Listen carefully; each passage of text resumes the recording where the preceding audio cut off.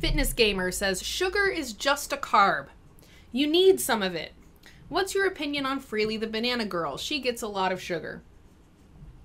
Point number one. Yes, it's true that sugar is a carbohydrate. I'm not arguing with you on that. But what I will argue is that the source of carbohydrate matters. When you talk about a carbohydrate that comes from brown rice, from quinoa, from a fruit,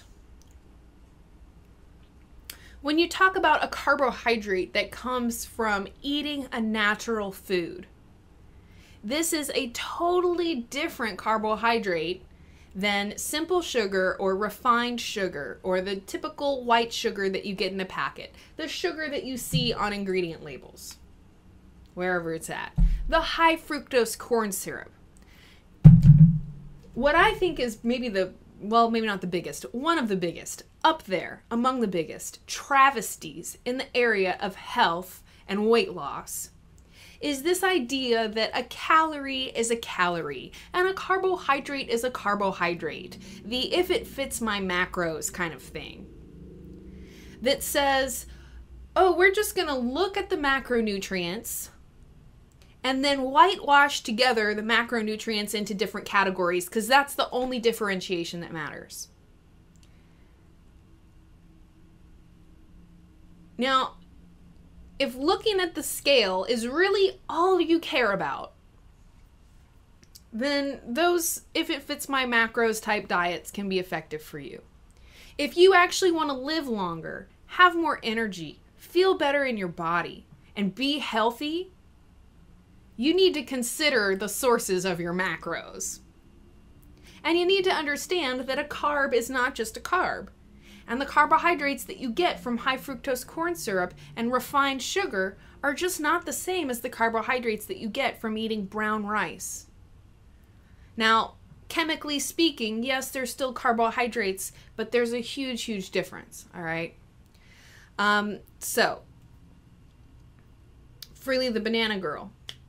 Here we have an example of someone who um, who's doing what I would consider an extreme diet which basically just means that she's eating in a way uh, that's that's very different from the average, right? I mean, she's eating a huge amount of carbohydrates um, with a very limited amount of fats and proteins. Now, that really and truly kind of uh, does not fit in with my idea of a healthy diet for a couple of reasons.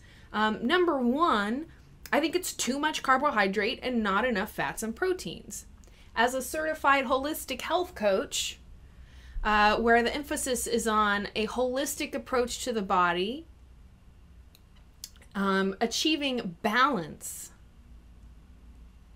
It's all about balancing things rather than going extremely high carb or extremely high protein or extremely high or low this. I recommend you stay in balance.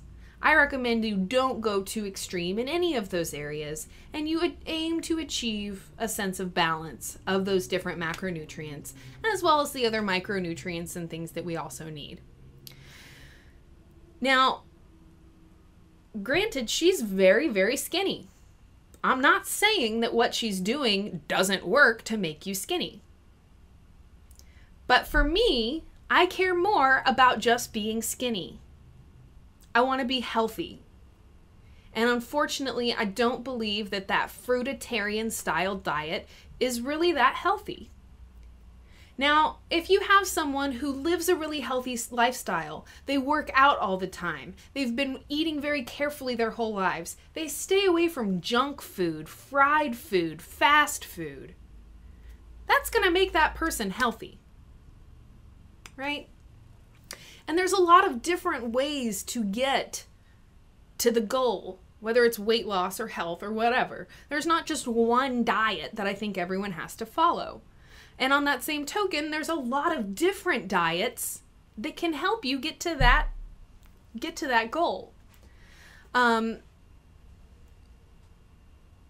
when someone asks me if I recommend that they do the Freelee diet or the fruitarian diet, You know, I think that number one, we have to understand that just because something works for one person doesn't mean it works for everyone.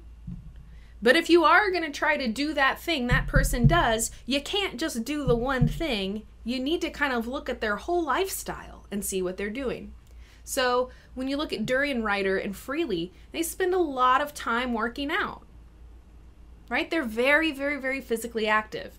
So if you're going to try a fruitarian diet, eating huge amounts of carbohydrates, you need to be really, really active.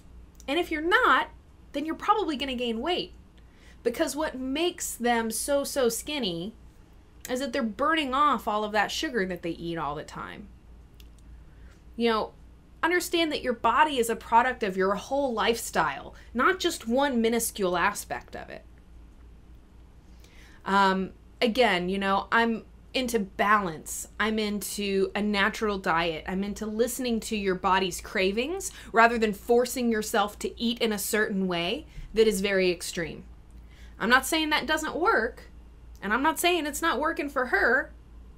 All right? And I'm not saying that it can't work for you. I just think that it's important that we look at these things with a sense of, of realism. Um, and understand that you can't just isolate the little thing down. You know, if you want to have the results that she has, you need to live the way that she lives. And a lot of people can't do that. You know, most of us have, you know, day jobs and we're busy and we have stress and we have families and we have all these things that are going to pre- prevent us from being able to be so active. Um, so I think for the average person, eating that many carbohydrates and eating that much sugar is just really not going to be, um, number one, practical, number two, uh, affordable, and number three, healthy.